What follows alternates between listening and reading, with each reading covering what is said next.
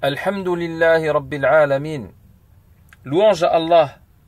C'est faire les éloges d'Allah avec les attributs les plus parfaits, ainsi qu'avec ses actions qui tournent entre la bonté et la justice. Il a donc des éloges les plus complètes et ceci sur tous les aspects.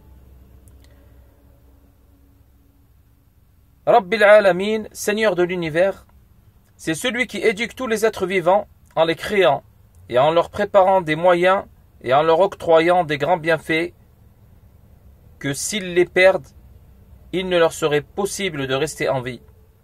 Tout ce qu'ils ont comme bienfait provient donc d'Allah le Très-Haut.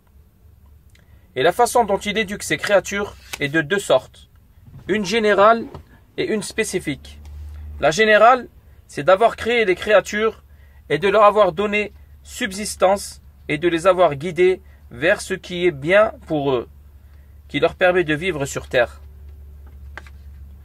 La spécifique, l'éducation de ses alliés, qu'il éduque avec la foi, en les guidant vers elle, et en la leur parfaisant, et en repoussant tous les obstacles et éléments qui pourraient les en éloigner.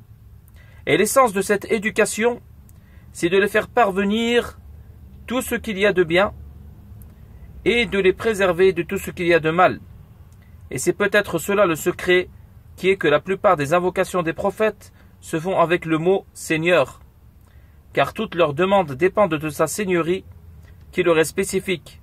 Donc sa parole, Rabbil Alamin, Seigneur de l'univers, prouve qu'il est le seul à créer et à gérer et à donner des bienfaits, et prouve sa parfaite richesse et que toutes les créatures ont besoin de lui, et cela sur tous les aspects.